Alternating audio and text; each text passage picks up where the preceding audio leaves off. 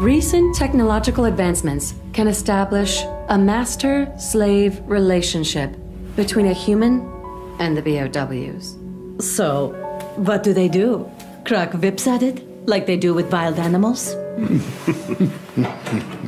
Not exactly.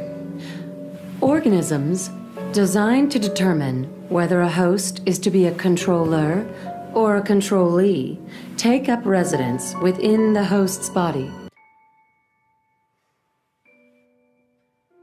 Very funny.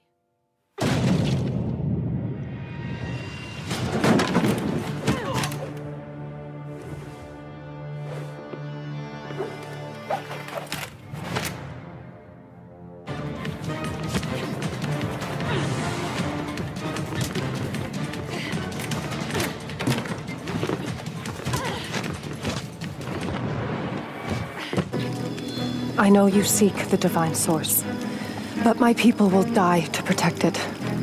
Your people are already dying. You can't protect it forever. We've lasted this long.